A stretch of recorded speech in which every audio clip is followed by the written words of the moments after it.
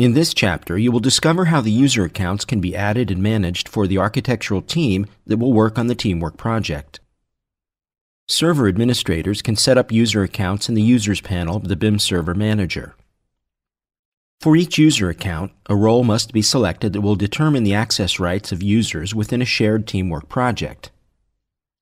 It is also possible to assign a different role to the user for a specific project should the architectural workflow within the office require this. This training guide involves three different users who will work together on a shared teamwork project, the lead architect and two architects, Architect 1 and Architect 2. Let's set up some user accounts for them. Select the Users line on the left hand of the BIM Server Manager dialog box. As you can see, the lead architect user account has already been added. This was done during the installation process of the BIM server. Let's check its user settings by double-clicking on the line for the lead architect in the Users panel. The lead architect is by default a server administrator as well as a project administrator and has been assigned the lead architect role. All the other values are filled out as you enter them during the installation process. The colored horizontal band below the photo placeholder shows the user's default color. By clicking on the band, you can set a new default color for this user.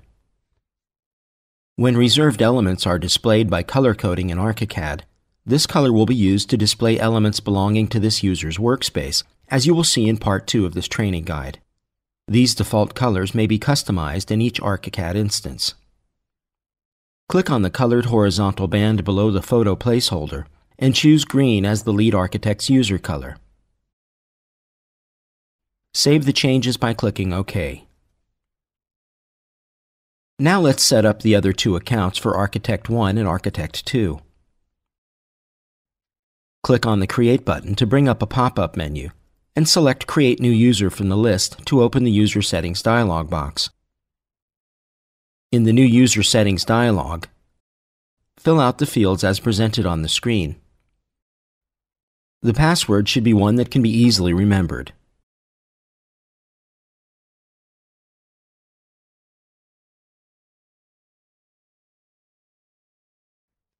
The email address does not have to be a real one. However, it must meet the required characteristics in its syntax. Certainly, in a real-life situation, one would enter a working email address here. The role can be selected from a pop-up menu. As a default, the architect role is assigned. Change the user color to yellow.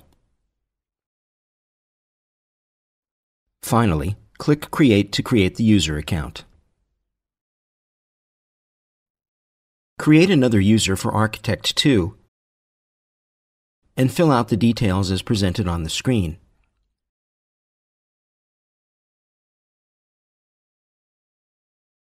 Select red for the color of this user. Click Create to proceed. The gold key means that the user is a server administrator, and a silver key means that the user is a project administrator. As a default, each new user created is enabled.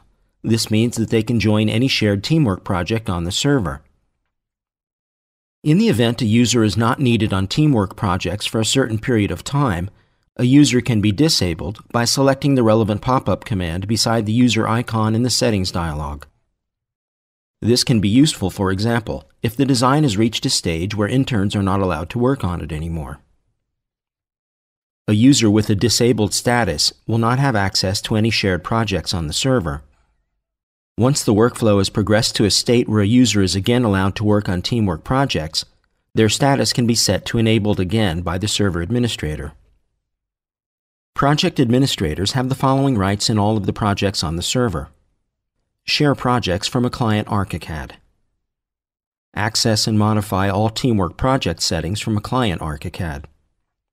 Manage the libraries, for example, upload, delete, or update, on the BIM server. Force a user to leave the project.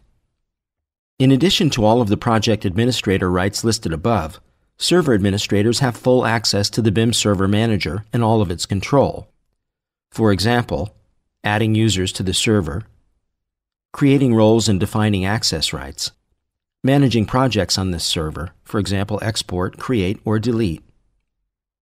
Now you have created the three users who will play a part in the training guide. You can continue to share the project you'll be working on in the following chapters. In this chapter, you've seen how the server administrator can easily set up user accounts for all users.